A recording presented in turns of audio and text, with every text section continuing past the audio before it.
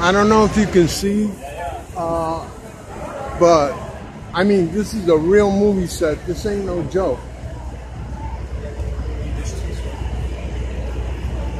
They got snow and everything. Oh my God, it's right. I know, it's great. See all those people wearing?